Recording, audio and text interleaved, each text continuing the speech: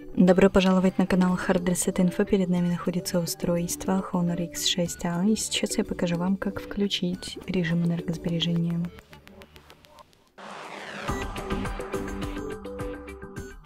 Итак, для этого мы свайпаем вниз, ищем здесь режим энергосбережения. Находим и нажимая на него, мы можем его включать. И также нажимая на него, мы можем его выключать. Можем зажать на нем пальчик.